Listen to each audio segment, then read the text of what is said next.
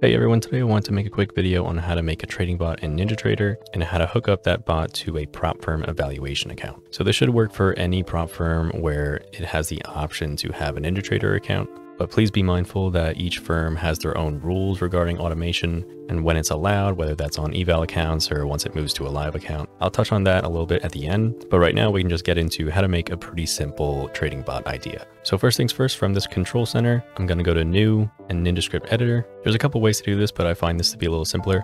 I'm just going to right click on the strategies folder and click new strategy. I'm to click next, and then I'm just going to name this volume spike for YouTube. And I'm just to click generate here. So what this bot is to do is just look for volume spikes at swing lows and swing highs. And when we get a volume spike in a swing low, we're to take a small long scalp. And when we get a volume spike at a swing high, we're to do the opposite and take a short scalp. So I'm to add this properties region that allows us to define our settings. And the way we're to determine a volume spike is from the measurements relative to this volume moving average here, which is this yellow line and these are all the volume bars. So we're going to be looking for a set factor multiplied by this volume moving average. For example, if I want it to be two times the volume moving average, it would be somewhere around here at this point in time, and this would probably get triggered if this was a valid swing high or swing low. So for every setting, you're going to have to type this NinjaScript property. And right now I want to define what the length of the volume moving average is. So we can say that it's going to be a range anywhere from a value of one to the maximum value for an integer is going to be displayed with a name of, let's just say volume length. For order, I'll make this the first element. Group name, I'll just say settings.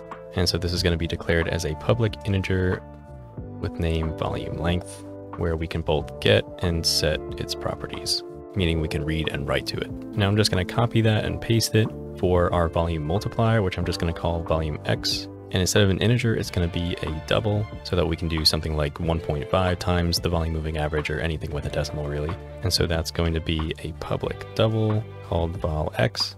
Set that order to two. The order just means how it's going to appear in the settings window. So volume length is going to be first, vol x is going to be second, and so on. And we'll set this minimum value to zero just in case we want to have values less than one. So I'm going to copy this and the only other two settings that we need to make are our stop and target values. So I'm going to paste this again. This time I'm just going to call this order stop and do the same thing for the actual variable name. Change that order to three. And I'm going to do that one more time for our order target and change that as well and set order to four. So now if we save this by doing compile and I go to my actual chart, right click and do strategies, I'm going to take off this one that I already made. And this is the one that I'm working on right now. So double click. Now you can see where that order parameter comes into play. I set this to one, two, three, four, and so forth. So it just lets you organize all your settings here. Obviously, we haven't built any functionality for buying and selling yet, so not enabling this is not going to do anything. So I'm going to go back to the code editor. And one thing we want to declare that's going to allow us to use the volume moving average is this private volume moving average, vol MA1, let's call it. So this is basically the type that you're setting, and this is kind of the name and how you're going to access it. And so the way we actually get the volume moving average data here is to actually go into this state dot data loaded.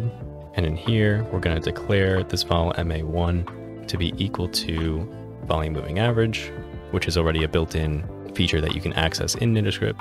And it's going to take the close series and the length is going to be the volume length parameter that we specified earlier. And we should also set some default values for all the settings that we made. So for example, volume length, we can make that something like 100, since that's what's currently on my chart, just so it doesn't get confusing.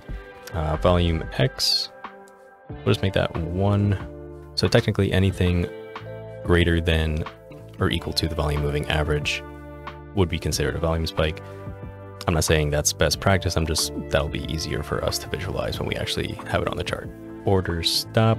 This is just going to be in raw um, points. So since we're trading on NASDAQ, let's say it's something like 40 points, since we can have some pretty wide swings. Order target, maybe make this something like 20 if we want to make this more of a, a scalping bot. Again, these are all arbitrary. I'm really just trying to breeze through this and see how we can set something up pretty quick. So I'm going to compile this and you see that we have no errors. That's a good habit to get into is compiling pretty often, especially if you're following um, tutorials from myself or others, just to make sure that you can catch errors quick. Otherwise, you kind of lose track of them and it gets pretty hard to debug sometimes, especially if you're new to this stuff. But so with all that figured out, we can go into the on-bar update and you see that this is where we actually add our strategy logic. So since we're going to be checking for swing highs and swing lows, um, we don't really care about anything that happens on the very first bar of the chart. In other words, when the current bar is zero, the zero with index, the first bar of the chart, whatever you want to call it, we're not going to be able to do anything with that information because a swing low and a swing high are both three bar patterns. So we're going to need three bars on the chart at minimum. So honestly, we could probably just do this current bar is less than three. Really won't make too much of a difference. But this is just so you avoid errors that if you look into, you know, the close from one bar ago, um, sometimes you can run into errors if this isn't sorted out initially. For example, if something in your code said something like, if close from one bar ago is less than close from three bars ago, if you only have one bar on the chart, then you're not going to be able to access three bars in the past, and so it might throw an error. So with that said, we can set our stop loss and profit targets here. And I'm just going to say double stop loss is going to be equal to the order stop that we initialized earlier. And is going to be divided by tick size. This isn't super necessary, but the way we're going to be setting our profit target and stop loss is going to be based on ticks. You can do it based on raw price alone and some other options as well. Uh, but this is just one that I've been accustomed to. So you can just take your initial stops and targets in a point format and divide that by the number of ticks per point, and that'll give you the total number of ticks for the stop and profit target. So similarly, I'm going to do double profit target equals order target divided by tick size. Now this alone doesn't do anything. We have to actually set our profit target and stop loss. So set profit target is a built-in function I'm going to pass in an empty string. Like I said earlier, the calculation mode is going to be in ticks. So we specify that. And then the value that we're actually passing in, we're doing instrument.masterinstrument.round to tick size of profit target. So we're basically taking the profit target that we calculated and making sure that it is a valid number for NQ to process. In other words, it should be divisible by 0.25. It can't be something like ending in, you know, 0.33 because that's not a number that NQ would ever reach. Likewise, set stop loss is also a built-in function. So we pass in empty string calculation mode.ticks and same thing here, instrument.masterinstrument.round to tick size and the stop loss that we defined a couple lines above. I'm just going to pass in false here for is simulated stop. And another thing to consider is that I only want this to trade during real trading hours um, especially for prop firm evaluations. A lot of them will only let you trade up until 4 p.m. or 4.15 or something, and then any active trades will be automatically closed. Sometimes you can fail the account if the trader's still open by then. So we want to make sure that that is not the case with ours. So we can do bool RTH is equal to, we're basically converting the current time to an integer. So two time of time of the zero width element or the current bar is greater than or equal to, I'm just going to say 930. And the way this is kind of processed is basically um, kind of like hour, minute, second. So it's a six digit number where 09 is the hour, 30 is the minute, 00 is the second. So I want to make sure that it's greater than 930 and that it's also less than, I'm just going to say 359 Eastern Standard Time. So one minute before market close. That way, if this is not true and we're past um, 3.59 in the afternoon, then we can just set all trades to close automatically. So for the actual entry logic, remember I said that we're going to be checking for a volume spike. So how we would determine that is if volume from one bar ago, again, we're going to be using swing highs and swing lows, and that's a three bar pattern. So we want to be looking one bar in the past to see what the volume is at that extreme. So if volume from one bar ago is greater than the volume moving average that we defined from one bar ago multiplied by our volume factor, which again, I just set to one currently. I'm going to wrap that in a parentheses and I want to specify that RTH is also true. Then we can open up this bracket and define how we want to get long or short. So first we're going to look for longs and we want to do that by validating a swing low. So we can do that by saying if low from one bar ago is less than the low from two bars ago, and the low from one bar ago is less than the current low, again, I'm going to throw up a picture on the screen to show you exactly what I'm talking about. As far as indexing, we want to make sure that the low from one bar ago is in the middle of that swing formation.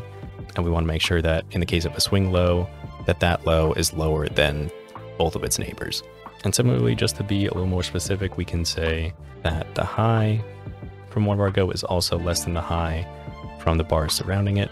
So if all of that is true, then we can do enter long, convert to int32, default quantity, and this is something that you can set up when you're actually um, enabling a strategy on your chart. You can set a default quantity or you can pass it in as a setting, doesn't really matter. So that is our long condition. So I'm going to save that and compile it, make sure we don't have any issues. No issues there. So I'm going to go to my chart, right click, go to strategies, double click, and I'm going to do enable here. And we can see that the longs are working. So again, we're looking for a swing low here. So one, two, three bars. This one has a volume greater than the volume moving average multiplied by our volume factor, which is just one at the moment. So it enters at the open of the very next bar. This one got stopped out. Same for here, validated because there was a volume spike and a swing low formation, and so on and so on. So our short condition is basically going to be the same exact thing, just reversed. So it's going to be if the high from one bar ago is greater than the high from two bars ago, and the high from one bar ago is greater than the current bar's high. And likewise, we just want to add some extra criteria for the lows to make sure that the low from one bar ago is greater than that of two bars ago and also the current bar as well. So if that is true, then we want to do enter short, convert to int32, default quantity, empty string, close that off. Now, last thing we want to do is if we are not in RTH, we want to just exit any longs and exit any shorts. So if we are past this time of 3.59 p.m., and we currently have an active trade, then this will just make sure that we're canceled out of everything. So I'm going to compile that and go back to my chart. I'm going to remove the old version, add a new one, click enabled. And now we see we have some shorts coming in here and here. So again, we have this swing high, three bar pattern, one, two, three. Volume is greater than the volume moving average. And so it enters at the open of the next bar. And this one ended up taking profit here. So that's pretty much it for the actual strategy piece. Now, as far as hooking it up to an actual prop firm or any account on NinjaTrader, you would go to your strategies tab, make sure this is disabled and click apply so that you can edit these settings here. And this is how you do it. You go to setup account. Instead of this being on sim, which it probably is by default, you can pick your uh, prop firm account or whatever it is that you're going to be having this trade on. And once you do that, you would have to click enabled and then apply. And once you do that, then it would start taking trades on that account. And again, I want to emphasize that each prop firm has their own specific rules that you really need to look into when you're doing this type of stuff. Because for example, I'm on Apex and I found an article that's talking about bots.